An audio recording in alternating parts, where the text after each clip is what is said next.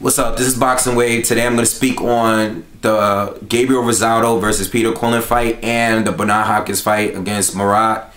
Uh, I didn't watch both fights live. I did watch the Ros Rosado fight um, live last night, but I didn't watch. Uh, I just now finished watching the Bernard Hopkins fight.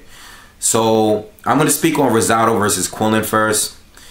I'm really disappointed that I know I predicted this fight to go with Quillin with the win um, by decision or cut in the later rounds. I know I predicted that to happen.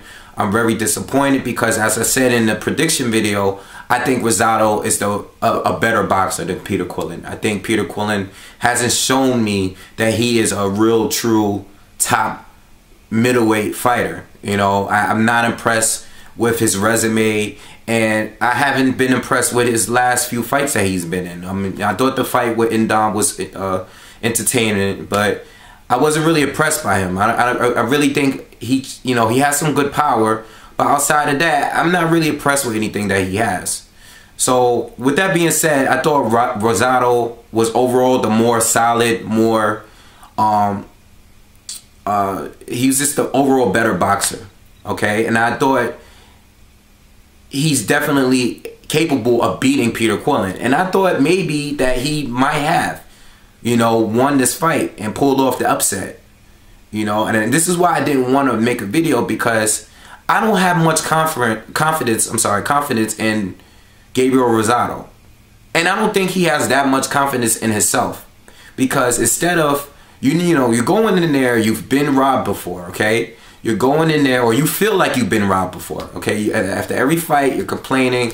You know, you know you have a bad eye. You get cuts easily. You've been stopped for it before, and you're going into this fight and you're fighting a champion, saying, you know, you know what? Do whatever you got to do to win this fight.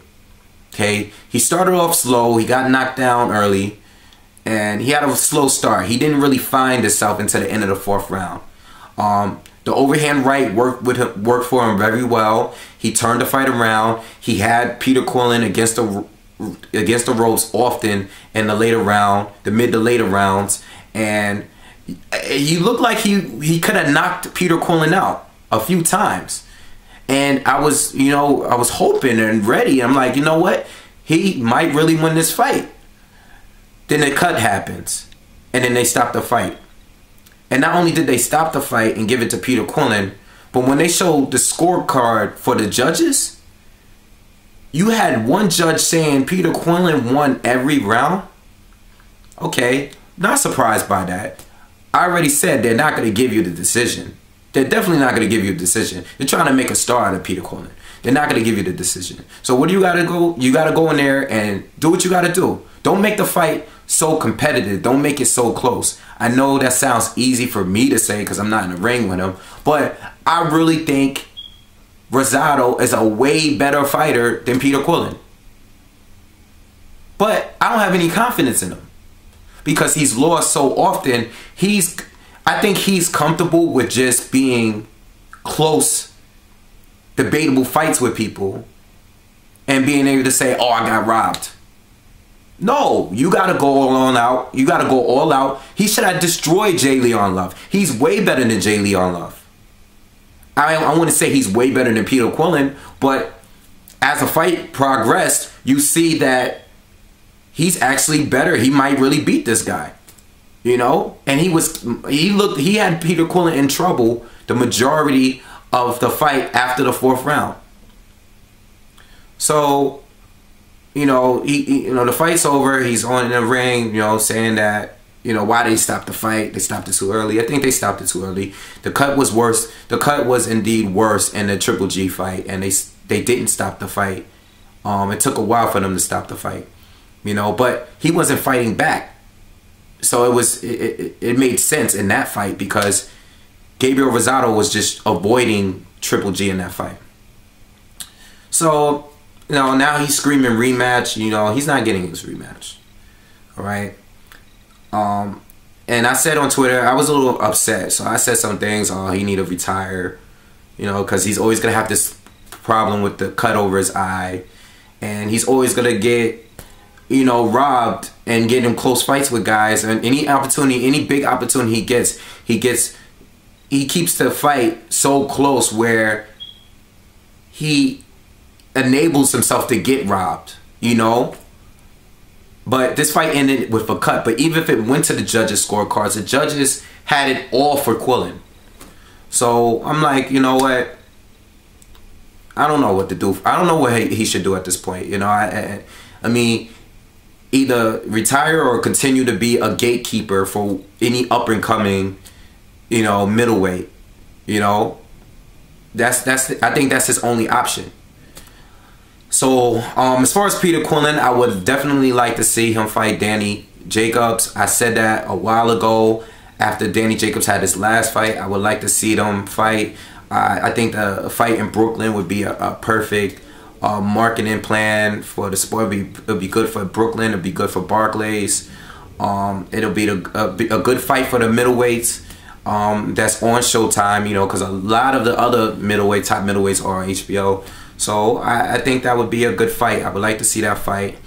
And, um, you know, I'll speak more about that when that comes. Now, as far as Bernard Hopkins versus Murat last night, I was very surprised with the outcome of the fight. Um, fight was very entertaining. I, I thought it was going to be a boring fight. In fact, it looked boring as, as, as soon as it started because you watch the Rosado and Quinn Quillin fight, you know, these guys are young, they're fast paced, and you know, it's going back and forth. And then you go and turn, and then slow moving Bernard Hopkins comes in, and then first right away, even though I think Murat was the pressure fighter in the early rounds, you can tell Bernard Hopkins was landing the cleaner shots, and he was dictating the pace of the fight from from jump very early. Uh, he typical B Hop fight. You know, he frustrated Murat. Uh, you know, with the clinching, and you know, turning around him when you know the ref was breaking him up, kissing him, going to this his uh, Murat's corner, talking to Murat's corner in the middle of the fight, and then punching him and beating him up right after. It was very entertaining to see. Um, the ref was a little harsh on Murat, I think, um, until he until until B Hop fell down and he swung at him twice when he was sitting on the ground.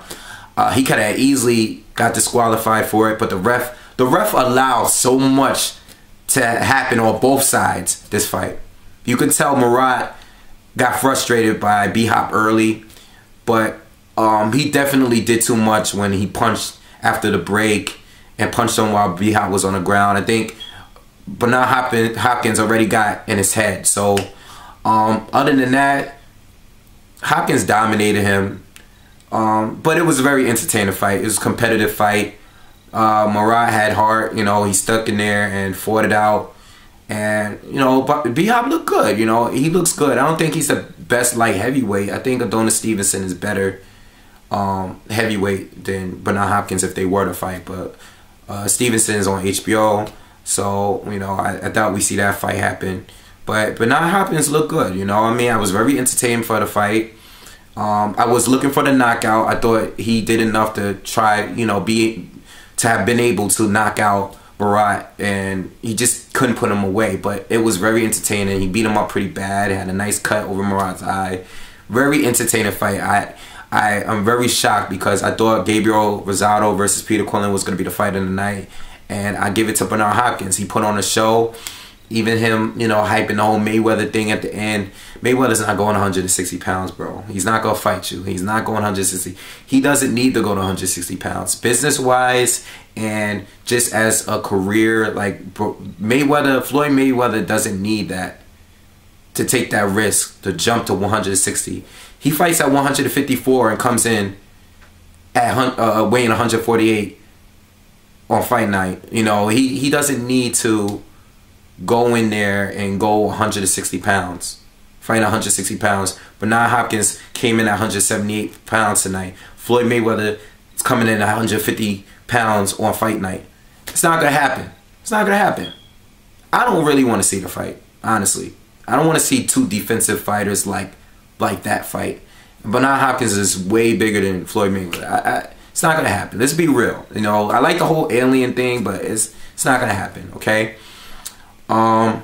So that's pretty much it. I didn't speak on the Deontay Wilder fight because I'm gonna use a separate video, a special separate video to tell you how I feel about Deontay Wilder. But um, I'm gonna speak on that too. I'm gonna try to do a video right right after this one and speak on that fight. But uh, that very nice card last night. Enjoyed it, and um, just leave in the comments. Uh, let me know what you think about you know the Gabriel Rosado Quillin. Let me know who you think won the fight. Do you think they should have cut uh, stopped the fight as early as uh, as they did? Do you think that the judges' scorecards? What do you think about the judges' scorecards? And let me know how close you think the fight was.